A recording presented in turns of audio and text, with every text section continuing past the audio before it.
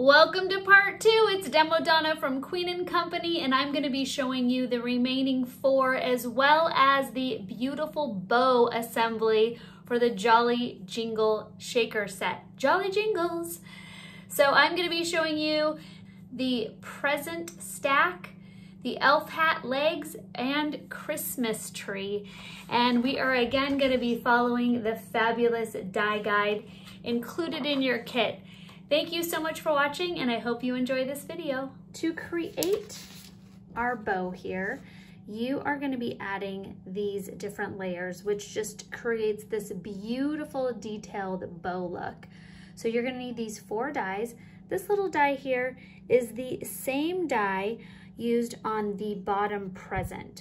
So be aware that there's a smaller, skinnier one that's used on the hat. So know the difference between this tiny one here and this one that's a little bit thicker that is the wrap around the bow. So to get started, I am going to take a little bit of Rolly adhesive just for extra support when I am putting my bow together. And I'm gonna layer the straight lined bow on top of the scalloped edge bow. And this looks really cute when you also layer with a white background, which is what I've done here. So really fun to play with the colors and the different layers for your bow. I'm gonna do all red just to follow the die line here. So I've got my two different bow dies layered together.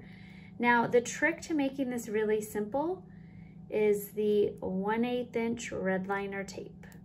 So I've now stuck that in the middle. I'm gonna peel off that backing and now I have my little strip hanging here and it's probably about two and a half inches of red liner tape. Now what I'm gonna do is I'm gonna take my beautiful tool here from the Queen & Co toolkit and I'm gonna curl both of my sides. This way, when you're folding your paper together, it's more natural and it doesn't just fold in half. So I'm going to now wrap my red liner tape around one time, putting adhesive in the back, folding that over, and by fold I mean pulling that over. I'm not folding my paper. And now I'm gonna come around again with my red liner tape. There we go. And bring these tabs into the center. And I just then take my fingernail tools and push those together in the center.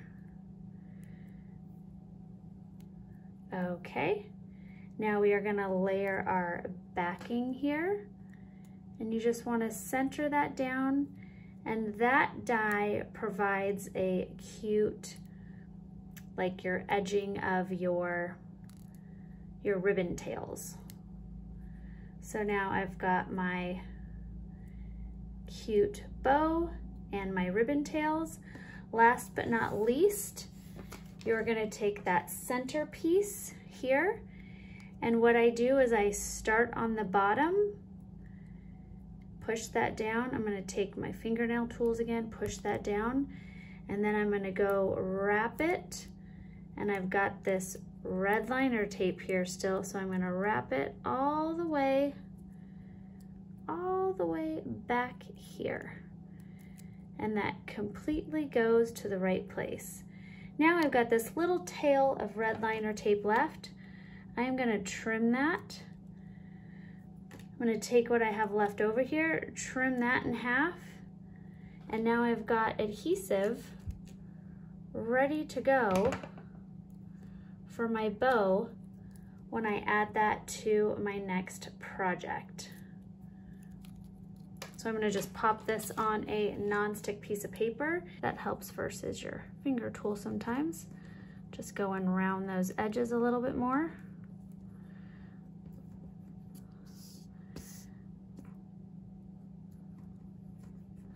There we go. And now you have a very beautiful, very detailed bow to pop on top of any of your super cute Jolly Jingles shakers.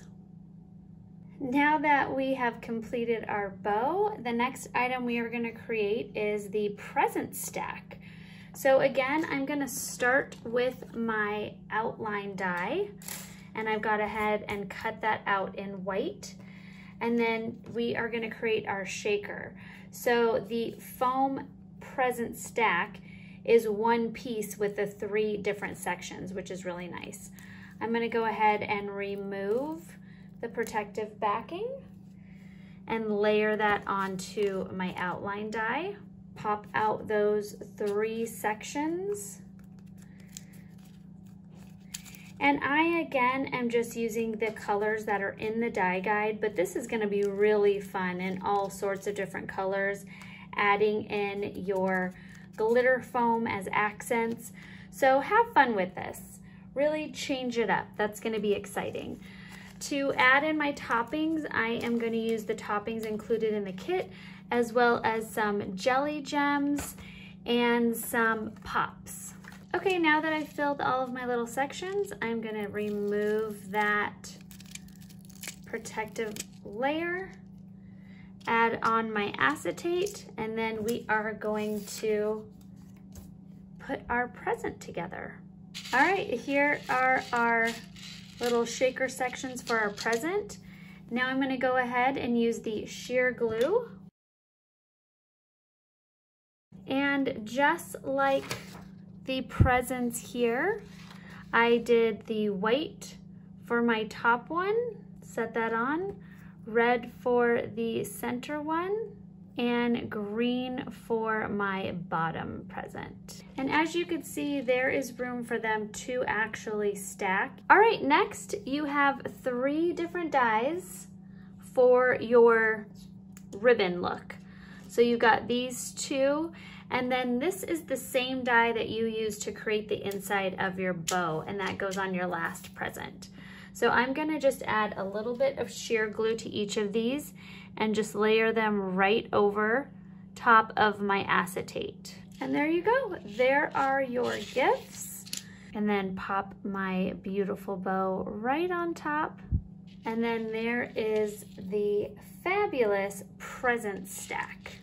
The next shaker we are gonna create from the Jolly Jingles set is the adorable elf hat and legs. So cute, really, really fun. And I'm gonna add in some glitter foam accents to it as well. So to get started, I am going to take the outline die, which is available separately, a great add-on to all of your shaker kits. And I'm gonna take the double-sided foam included in your kit, remove the protective backing from just that outside layer, add my foam down, pop that up.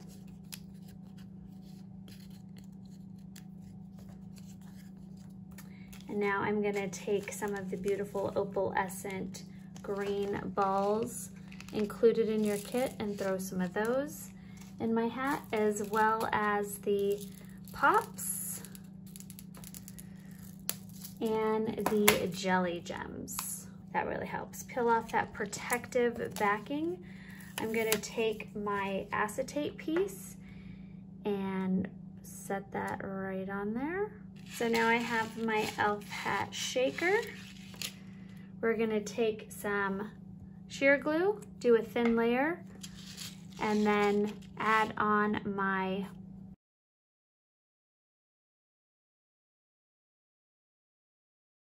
All right, now that I've got my elf hat assembled, I am gonna take the next piece here, which is a, another decorative element, add a little bit of sheer glue and stick that right on there.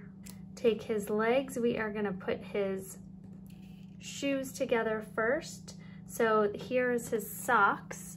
It is a die that is attached, so you've got two larger pieces parallel to each other and those are the socks. His shoes come in two different dies, so you've got the left and the right shoe. And I am just simply going to take a little strip of red liner tape to adhere both of those. Add a little rolly adhesive.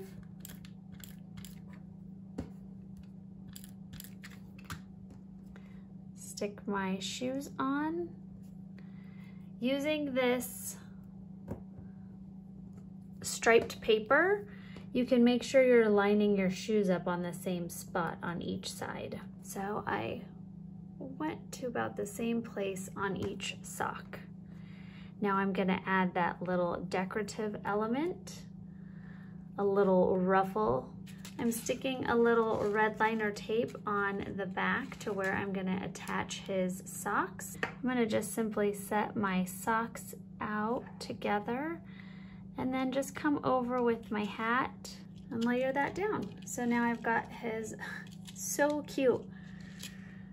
Now the last die here, so this die you're gonna cut out twice. Once with whatever color you want your little decorative ruffle to be, and then the second one with what you want your little like bells to be on his shoes. So I did the gold, the gold glitter foam.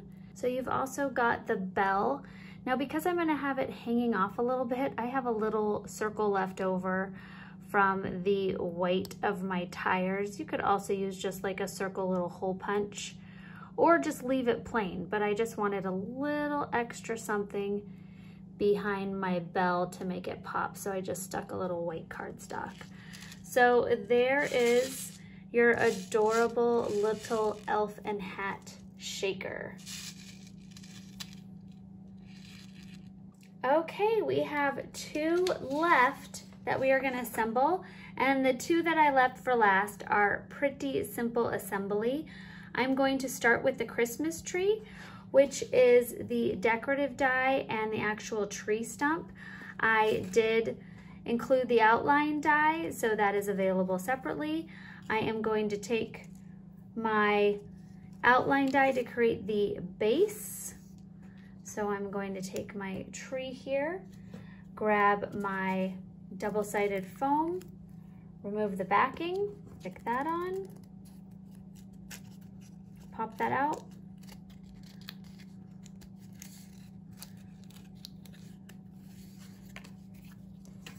fill in our shaker.